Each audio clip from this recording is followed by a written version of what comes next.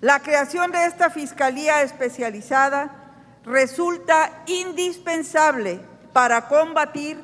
en el ámbito de la Procuración de Justicia la profunda desigualdad que aún persiste entre diversos grupos de la población tamaulipeca, misma que obstaculiza e impide el ejercicio pleno de sus derechos humanos. Al aprobar la creación de esta Fiscalía Especializada, el Congreso y el Poder Ejecutivo del Estado sumamos esfuerzos en una causa común como es garantizar el pleno respeto a los derechos humanos de las mujeres, niñas y niños y adolescentes en Tamaulipas.